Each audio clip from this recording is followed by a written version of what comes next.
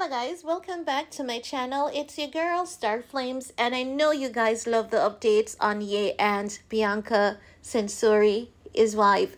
However, in this video, I'm here to give you guys an update on Ye's wife, Bianca Censori. Now, shout out to Harlem World for sending me this tip.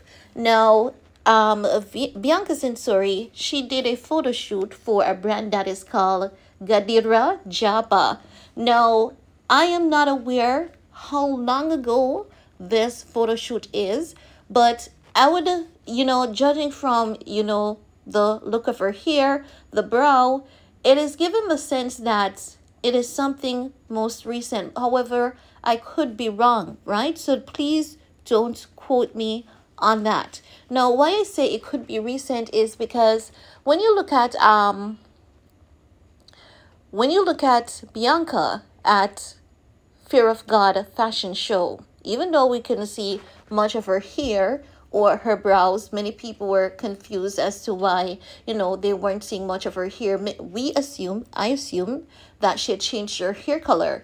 But after that, we saw another photo of her at the Cheesecake Factory where we could see that her brows were also blonde and the hair was cut a bit lower. So it's giving the sense that, you know, this new look with the short hair, you know, the brows being um, blonde, it was for this photo shoot. That's the sense that I'm getting, but I could be wrong, right?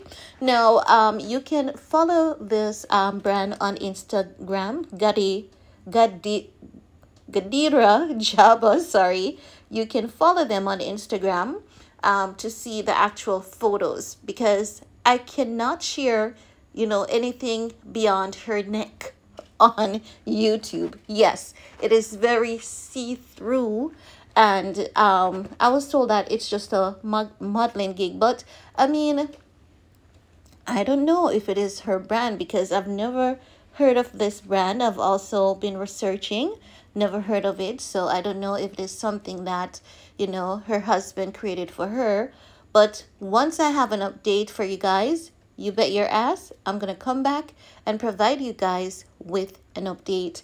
So that's all i have to share in this video with you guys. Let me know what your thoughts are and while you're at it give this video a big thumbs up. We'll talk in my next videos bye guys